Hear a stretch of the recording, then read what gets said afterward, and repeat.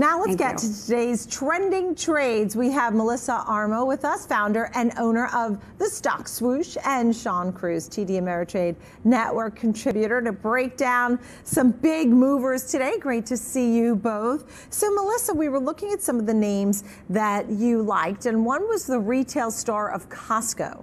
Why is that? Well, Costco's been holding up pretty good here for a while, and again, just recently made new highs. So any stock that is as strong right now as the market, because the market has hit up over the highs in the S&P and again the Nasdaq 100, you want to go with the strong stocks that are going with the market right now. If you're if you're sticking with longs, if you're still in longs. So, Shawn, so we talk about a name like Costco, which has been, I guess, a retail star year to date. It's up 20%. So that is a star, no doubt. But what is the, what are the trader talks about retail in general and Costco? Yeah, I think right now traders are really looking for the, the retail companies that are able to start delivering on the product mix of matching in-store sales with their e-commerce segment. Yeah. And we've seen that out of Costco. They've been able to grow e-commerce 20% year over year, and they're still able to drive significant in-store traffic, which speaks to brand loyalty, the quality of their merchandising. They're still able to get people in. Their membership renewal rates are also strong. So that's really what you want to see out of this segment is a strong, loyal customer base right. and their ability to, to maintain solid margins with from that customer base. And those membership programs, those loyalty membership programs, get everybody sucked in. Yep. Um, Shawn, we looked at Microsoft. It hit a trillion dollars market cap. Yeah. Any thoughts on Microsoft? It's really uh, quite impressive the ability that the CEO Satya Nadella has been able to shift the focus of that company into more subscription based. He's definitely made strong moves into the cloud space, and I think right now we've, we've heard of software as a service was kind of the catchphrase years back for where you want to see these emerging tech companies. Right now, infrastructure as a service is what I think the new thing is going to be moving forward, and the two companies that are leading that right now is Microsoft with their cloud services, right. and then it's also Amazon with Amazon Web Services it used to be Amazon had a pretty commanding lead over Microsoft in that realm, but they've certainly been able to close that um, recently. And right now, between Microsoft and Amazon, that's about 57% of the infrastructure as a service space. So there's definitely the two lead players. Far behind them are going to be Oracle and IBM. And it's down a little bit right now today, but year to date, Melissa, it's up 27%. And you like this stock. Well, it had such a strong earnings reaction. It gapped up and went up to brand new all time highs, hit well over 130. And so even though it's falling a little bit now, I don't have a problem with it. I mean, when you look at the sector itself, because Google was down, I mean, it's dragging a little bit probably because of that.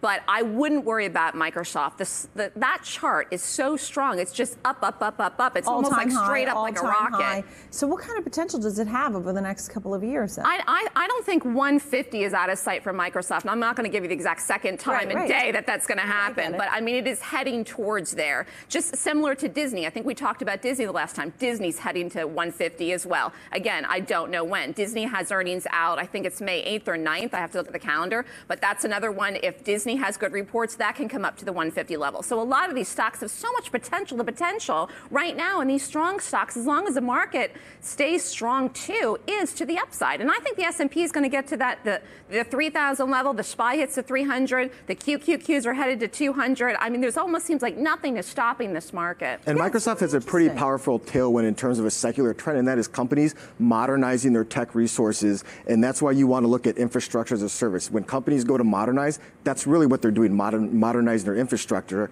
And it looks like Amazon and Microsoft are the two players that are going to benefit from that trend the most. So what, I was just talking to Matt Cheslock from Virtu Financial, and he said one of the themes he's seeing is that people are getting into individual stocks rather than passive investing or ETFs because they want to, they don't want to miss. They have this fear of missing out, Shawn. And you know, to Melissa's point, we have Disney new high, Microsoft new high, S&P new high. But are you hearing from people that there is still optimism out there and that what are the options saying for the bets of which way we go? I think so. And, and one, if you just look at the option market in general, they're pointing to not much fear on the horizon from investors. And that's why you have the VIX at incredibly low levels. But when you look at these individual names, some of these names are, are incredibly high flyers. So we do see uh, TD Ameritrade clients and just investors across the board get exposure to them by using options because it's a more efficient use of capital to get that exposure. And I think they're moving moving into individual names more than they maybe previously has been is you're starting to see breakdowns in these correlations in the sector. I think the. FANGs is one that you can look at. There's really starting to be a divergence in the FANG names. Amazon is starting to take on its own unique risk profile, separate from Facebook, right. which is separate from Netflix, um, separate from uh, Google. So I think right now investors are being a little bit more picky about where they want to go and what risks they want to take on in their portfolios. Here, here's what I want to say. What I think people should focus on, and this is like the new thing whoever is doing content creation, creating their own content, which Apple TV, Apple's yeah. creating their own shows, Netflix creating their own shows, Disney's creating their own shows.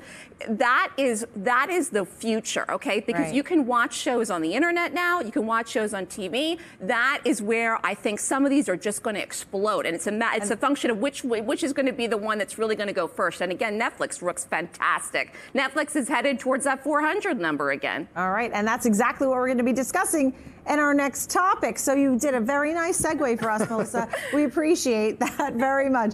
Melissa Armo, founder and owner of the Stock Swoosh, Shawn Cruz, TD Ameritrade Network contributor. Great discussion. And I know another one you liked, Melissa, was Ulta. We didn't get a chance to get to it, but thanks for joining us on the show. Still ahead, we